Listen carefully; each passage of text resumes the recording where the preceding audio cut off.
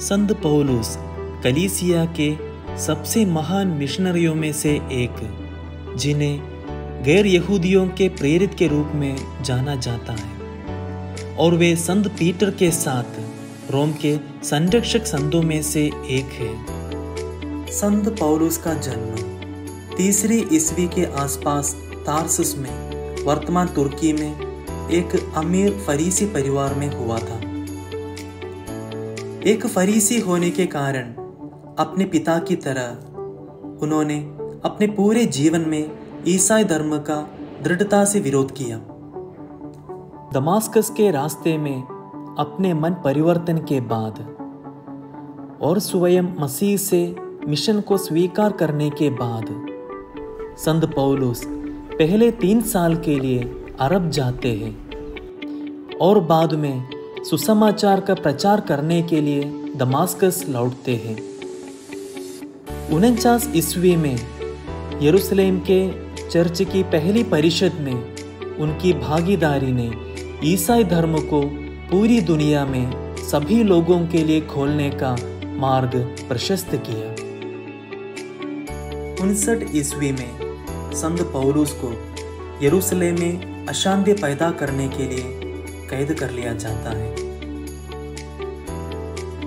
साठ ईस्वी के आसपास, संत पौलुस रोम में आता है और घर में नजरबंद रहता है और अपनी मिशन को जारी रखने के लिए पत्र लिखने और प्रचार करने में समय लेता है।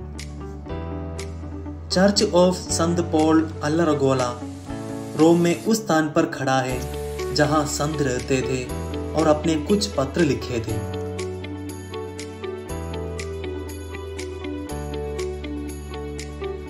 चौसठ ईस्वी में रोम के महान आग के लिए खुद से दोष को बदलने के प्रयास में सम्राट नीरो ईसाइयों को निष्पादित करना शुरू कर देता है।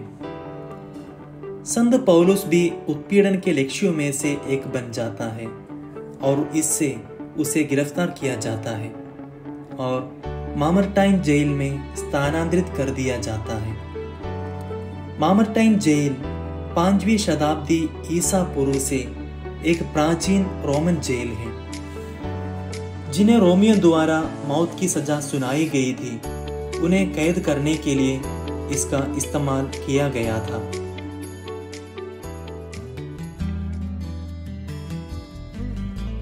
सम्राट नीरो के आदेश पर संत पौलुस ने अपने घुटने टेक दिए और रोम के दक्षिण में पाए जाने वाले एक क्षेत्र एक्वा साल्विया में उनका सिर काट दिया गया।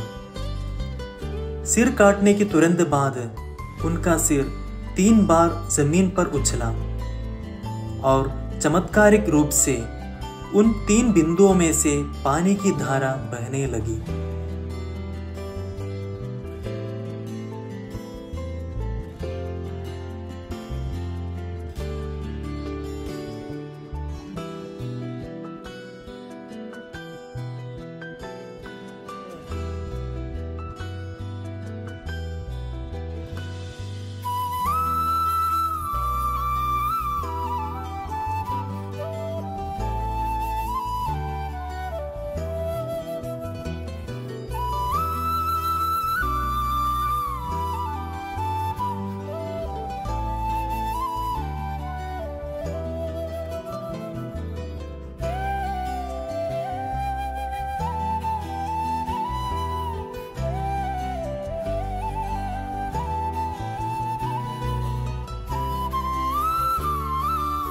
उनकी मृत्यु के बाद, संत पौलुस को भक्त लुसिला के पारिवारिक मकबरे के अंदर ओस्टियंस वे पर एक रोमन कब्रिस्तान में दफनाया गया था। यह इस तथ्य के कारण संभव था कि ईसाई होते हुए भी वो एक रोमन नागरिक भी थे। लंबे समय से यह माना जा रहा है कि उनका मकबरा आज भी मुख्य वेदी के नीचे स्थित है।